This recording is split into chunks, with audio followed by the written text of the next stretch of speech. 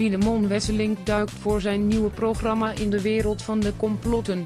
De zesdelige serie, die vanaf maandag te zien is bij Bvara op Po3, nam voor de presentator een aantal vooroordelen weg. Zo merkte Filemon dat hoewel de complotdenkers anders denken dan het gros van de mensen,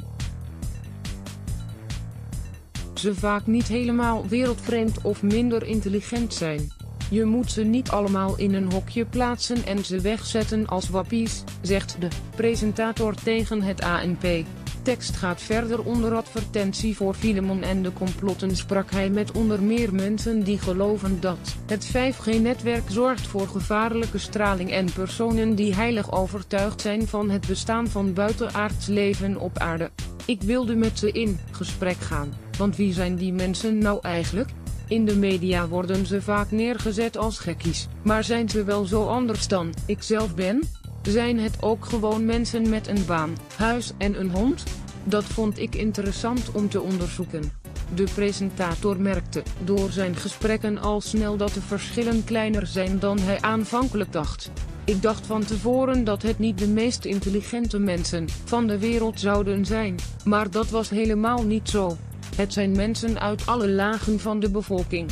Van welgestelde zakenmensen tot alternatieve mensen die heel erg bezig zijn met spiritualiteit. Gewoon mensen zoals je ze kent, van leuk en lief tot vervelend en stom. Onderliggend lijden wel, ontdekte Filemon een grote overeenkomst tussen de complotdenkers. Niemand die ik heb gesproken heeft een rimpeloos leven geleid. Er is veel onderliggend lijden, waardoor ze in die theorieën zijn gaan geloven. Ze zijn zelf op een bepaalde manier slachtoffer geworden en het geloof in een soort vooropgezet plan geeft hen houvast. Zo sprak de presentator onder meer met een vrouw die veel pijn heeft omdat ze geen kinderen kan krijgen.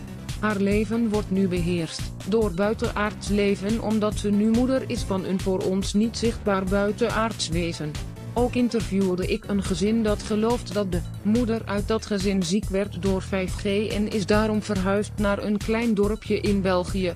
Erg indringende verhalen allemaal. Twijfelen toch is Filemon na zijn gesprekken niet van gedachten veranderd over de waarheid van de complotten. Ik dacht van tevoren, misschien dat ik na het aanhoren van de verhalen wel ga twijfelen en zal denken dat een complot zou kunnen bestaan. Dit zullen de mensen die ik heb gesproken waarschijnlijk niet leuk vinden, maar dat is niet gebeurd, zegt de presentator lachend. Filemon hoopt wel dat het vergrote begrip dat hij wel heeft gekregen voor de complotdenkers ook zal overslaan op de kijkers. Je hoeft het niet met ze eens te zijn.